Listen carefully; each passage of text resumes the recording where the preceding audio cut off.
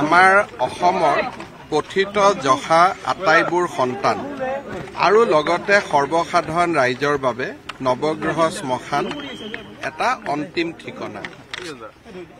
ৰাজ্যিক মৰ্যাদাৰে আমি যিসকল সদাশয় ব্যক্তিক এই গৃহ সংসাৰৰ পৰা বিদায় দিওঁ সাধাৰণতে তেওঁলোকৰো শেষকৃত্য নৱগ্ৰহ শ্মশানতে সমা কৰিবলগীয়া হয়। শ্মশানখনৰ অৱস্থা খুব ভাল নাছিল। শ্মশান কমিটিয়ে এটা পৰিকল্পনা বনাইছিলে শ্মশানখন ভাল কৰাৰ কাৰণে।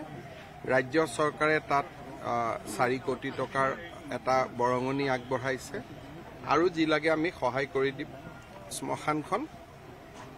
অলপ ভাল কৰাৰ কাৰণে বহুত দিনৰ পৰা মোৰ লগত আলোচনা চলি আছিল। আজি মই অলপ সময় উলিয়াই চাইও গলো আৰু শ্মশানখনৰ কামো আগষ্ট মাহৰ আৰম্ভ হ'ব। ছাৰ উন্নত মানদণ্ডৰ যেনেকৈ ধৰা মুম্বাই দিল্লীত যেনেকৈ ইলেক্ট্ৰিক পদ্ধতিৰে যি অন্ত্যেষ্টিক্ৰিয়া সম্পন্ন কৰা পদ্ধতি আছে সেই পদ্ধতি আমাৰ ইয়াত লাগু কৰিব নোৱাৰি নেকি?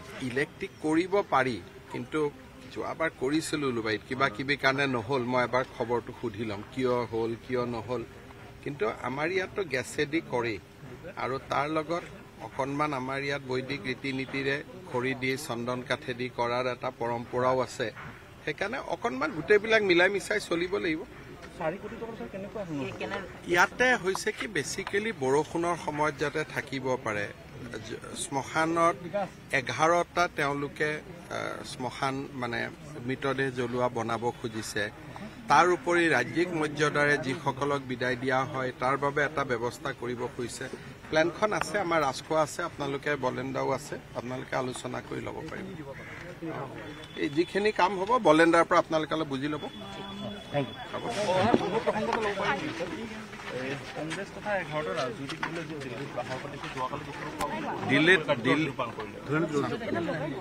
दिल्लीत इधर आओ, इधर आओ, आप बेटा बेटा आप बाहर आओ ना इतना कस क्यों करते हो आओ आओ आओ हाँ, हाँ, हाँ।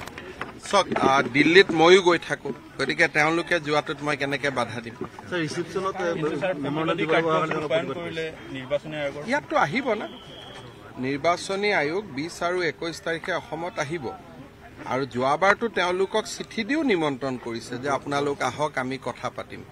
এতিয়া মই যিমান দূৰ জানো তিনিওজন নিৰ্বাচনী আয়োগে বিদেশত আছে। ভাৰততে নাই। তেওঁলোকে সময়টো নোচোৱাকৈ গৈছে। হয় নে নহয়? ঠিক আছে? যুৱক যুৱতীসকলক যে দুই লাখ টকা টকা দিম বুলি কৈছিলে তেনেকে দিয়া নহয় তাৰ আঁচনি হ'ব। লাহে লাহে এই বছৰটোৰ ভিতৰত এই বিত্তীয় বৰ্ষত। ছাৰ বিৰোধী ঐক্য এক হৈছে। দুহেজাৰ চৌবিছৰ লোকসভা নিৰ্বাচনত বিজেপিক পৰাভূত মোৰ। লগততো আপোনালোকে দিনটো ঘূৰি ফুৰে। তাৰ পিছত আপোনালোকৰ মনত ভাৱ হয় নেকি যে কিবা সমস্যা আছে বুলি?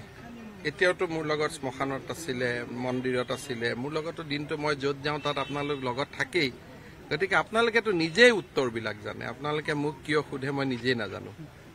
ক'ৰবাত কিবা কম দেখিছে নেকি আপোনালোকে? যদি কম দেখিছে মোক